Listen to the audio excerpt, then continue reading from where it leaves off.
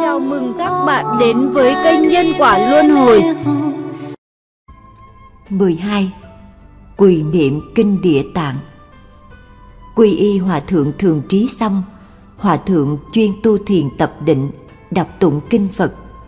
Lúc 15 tuổi, Lần đầu tiên Hòa Thượng thấy được kinh địa tạng.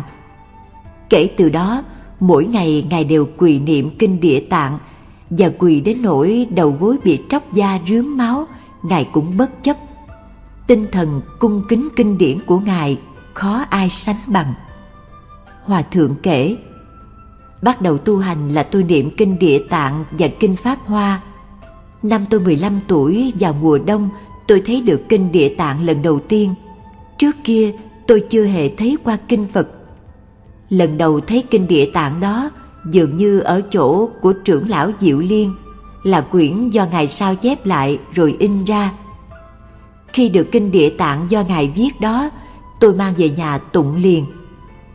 Ở phương Bắc có loại nhang tinh tấn có thể đốt được hai tiếng đồng hồ. Tôi thắp một cây nhang đó rồi quỳ xuống từ từ tụng.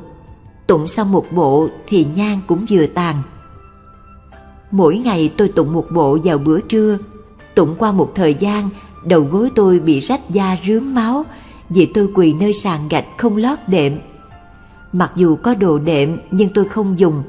Thật ngu ghê, làm cho đầu gối trầy da chảy máu mà vẫn không dùng đến đệm lót.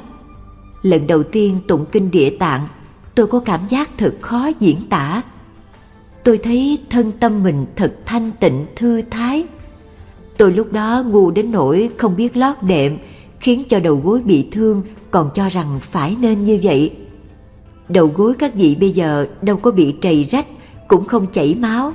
Vì hễ quỳ ở dưới đất, các vị nhất định phải lót đệm kê. Có đau một chút là các vị đã lo ngại cho đầu gối của mình rồi. Do đây cũng chứng minh rằng các vị đã thông minh hơn sư phụ nhiều.